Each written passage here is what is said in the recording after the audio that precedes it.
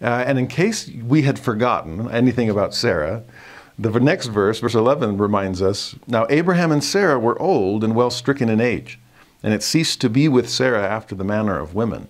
I love how that's put. They were well stricken in age. To be stricken makes it sound like it's some kind of horrible disease. And well, sometimes it feels that way. The older I get, the more strickener and strickener I feel, right? But it ceased to be with her after the manner of women. Well, ceased to be, it never started. If you remember last week, the first time we meet Sarah, back in chapter 11, the first thing we know is that she's barren. And in case we don't know what that means, he re- reiterates it she couldn't have any kids. We talked about that last week that what a painful irony to be defined by what you lack instead of what you can offer. And to be defined by your barrenness when you are the second half of a covenant couple that is to be defined by their posterity. Remember this sense of I am the weak link in the chain.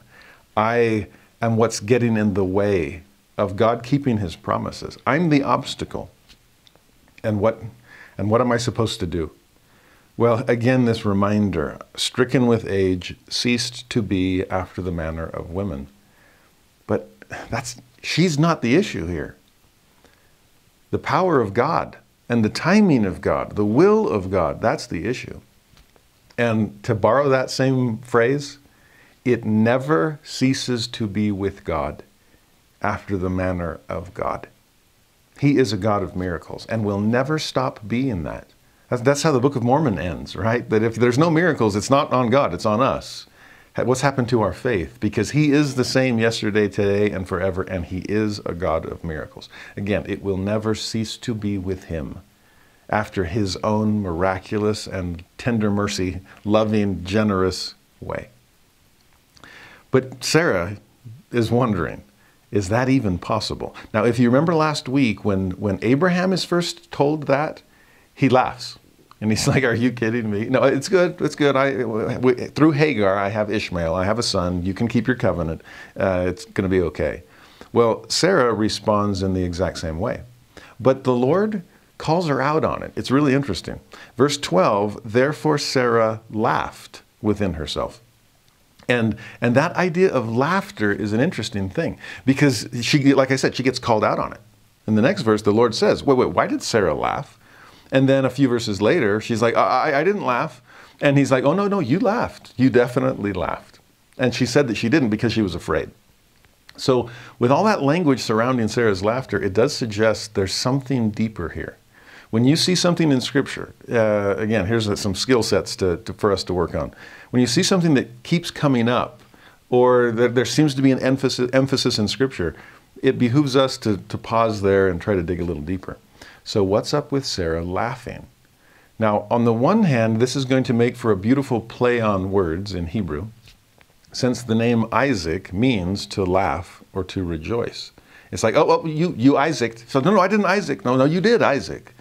Uh, and that's okay because Isaac will come as a result. Okay? But again, something more about this laughter. To me, it's as if the Lord is saying, Sarah, my promises are not a laughing matter. Trust me on this one. But then again, maybe they are. Maybe Sarah knew more than she realized and did something more, more appropriate than any of us could imagine. Maybe laughter was the exact response that was, that was required at that moment. And here's why. There's something about laughter in terms, well, let's put it this way comedies or, or tragedies, okay? You Shakespeare scholars uh, or fans, take your pick. The interesting thing about tragedy is, well, every life, every story, every play has its ups and downs, right? But tragedies are defined by the fact they end on a bad note. I mean, you're leaving in tears of sorrow. It's like, I can't believe that happened to them. Whereas comedies, no matter how many ups and downs there are throughout the story, it always ends with a smile on your face. It ends in joy, in rejoicing, in laughter. Comedies reassure us no matter what happens, this will have a happy ending. And in many ways, Sarah's life and Abraham's life has been almost an unmitigated tragedy, especially from Sarah's standpoint all that she's been through. And for her to laugh about this promise is a sign to us all This story's a comedy, not a tragedy. It will end. If tears, maybe, but tears of joy, tears of laughter rolling down your cheeks. You're about to Isaac, and all of us have a happy ending. I've, I've told my students this that permanent bad news is against my religion.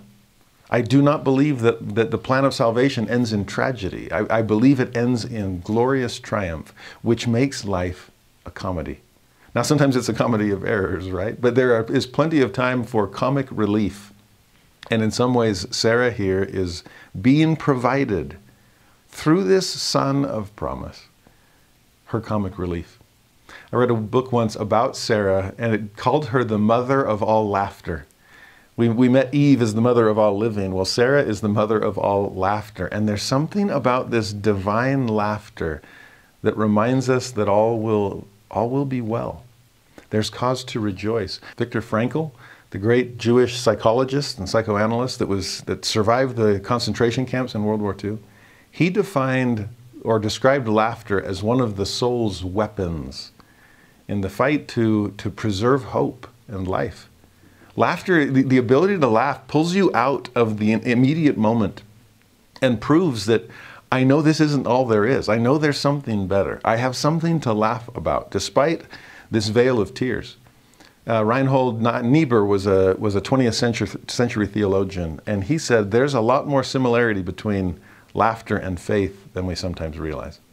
That laughter deals with life's small incongruities where faith deals with life's larger ones. And sometimes the one can, can morph into the other.